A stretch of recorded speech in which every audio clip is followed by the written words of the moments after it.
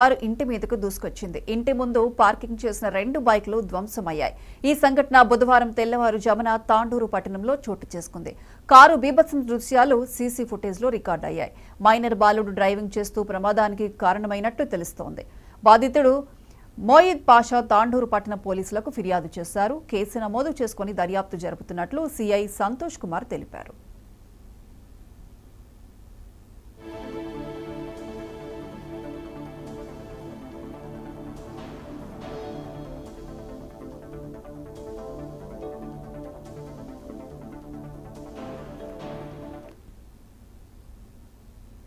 నంద్యాల జిల్లా నందికొట్కూరు కౌన్సిలర్లు రోజుకు